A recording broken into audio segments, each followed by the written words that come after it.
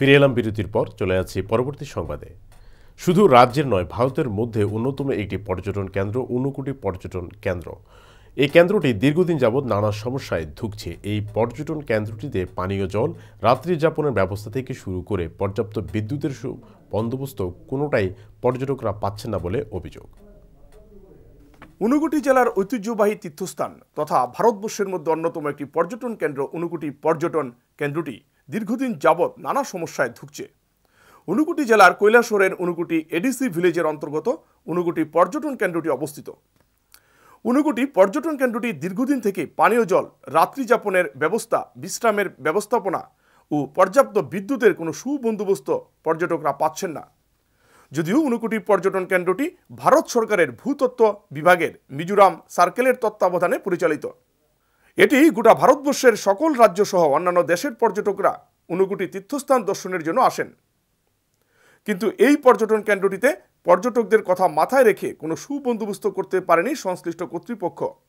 নেই রাত্রিযাপনের কোনো ব্যবস্থা, নেই কোনো বিশ্রামাগার, নেই বিদ্যুতের পর্যাপ্ত পরিষেবা।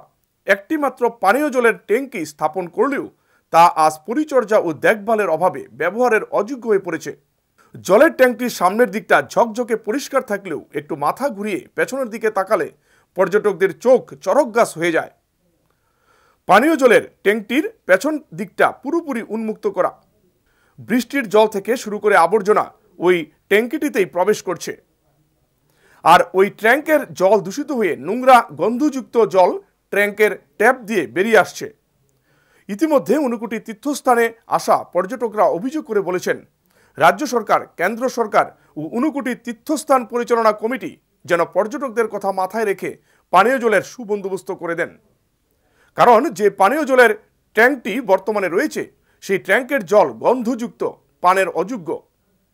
এই জল পান করলে পর্যটকরা তীর্থস্থান দর্শন করতে এসে অসুস্থ হয়ে বাড়ি ফিরবেন। তাই পর্যটকদের জোরালো দাবি, ঊনকোটি পর্যটন কেন্দ্রে বিশুদ্ধ পানীয় জলের সুবন্দোবস্ত তৈরি করা পাশাপাশি রাত্রি যাপন ও বিশ্রামাগারে পর্যাপ্ত বিদ্যুতের ব্যবস্থা করলে পর্যটকদের অনেকটাই সুবিধা হয়। যদিও রাজ্য সরকার ত্রিপুরা রাজ্যের পর্যটন কেন্দ্র তৈরি ও পর্যটন কেন্দ্রের কথা মাথায় রেখে কাজ চালিয়ে যাচ্ছেন। যেহেতু ঐতিহ্যবাহী ঊনকোটি তীর্থস্থান, অর্থাৎ পর্যটন কেন্দ্রের দিকে একটু দৃষ্টিপাত করে রাজ্য সরকার তার দাবি জানান পর্যটকরা। উল্লেখযোগ্য যে ঊনকোটি তীর্থস্থানে, অর্থাৎ পর্যটন কেন্দ্রে রাজ্যের মাননীয় মুখ্যমন্ত্রী রাজ্যপাল থেকে শুরু করে কেন্দ্রীয় হেভিওয়েট মন্ত্রীরাও এসে তীর্থস্থান দর্শন করে যান। প্রতি বছর মেরামতির জন্য লক্ষ লক্ষ টাকা ব্যয়ও হয়। কিন্তু কি অদৃশ্য কারণে ঊনকোটি তীর্থস্থানের মতো ঐতিহ্যবাহী পর্যটন কেন্দ্রে পর্যটকদের কথা চিন্তা করছে না সংশ্লিষ্ট মহল, তা নিয়ে হতবম্ব পর্যটকরা। জানা গেছে, কয়েক মাসের মধ্যে ঊনকোটি তীর্থস্থান, অর্থাৎ পর্যটন কেন্দ্রটি বিশ্বের দরবারে পর্যটন কেন্দ্র হিসাবে স্থান লাভ করবে। এখন দেখার বিষয় পর্যটকদের কথা চিন্তা করে সংশ্লিষ্ট কর্তৃপক্ষ রাত্রি যাপন বিশ্রামাগার, পর্যাপ্ত বিদ্যুৎ ও বিশুদ্ধ পানীয় জলের সুবন্দোবস্ত করে নাকি পূর্বের মতো মর্জি মাফিক জলের ট্যাঙ্কের সামনে ঝকঝক রেখে পেছনটা আবর্জনায় ভরিয়ে রাখে, এটাই এখন দেখার।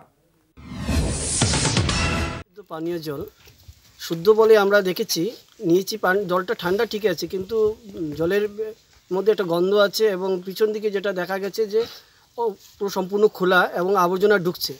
তো আবর্জনা এবং জলে একাকার হয়ে এটা আসছে। সেটা যে আবার কীভাবে স্বচ্ছতা আছে, এটা নিয়ে প্রশ্ন। কারণ এখন বিভিন্ন ধরনের রোগের সৃষ্টি হচ্ছে জল থেকে। আর এই বিশুদ্ধ পানীয় জল যে জল যেটা খাবে, সেই জল খেয়ে যদি পর্যটকরা রোগ নিয়ে এখান থেকে যায় তখন এটা একটা বিশেষ প্রশ্ন চিহ্ন হয়ে যাবে। তো আমি সরকারের নিকট অনুরোধ রাখছি এটা একটু দৃষ্টিগোচর করার জন্য যাতে সংস্কার হয় এবং মানুষ যাতে ভালো জলটা পান করতে পারে। Report news media city.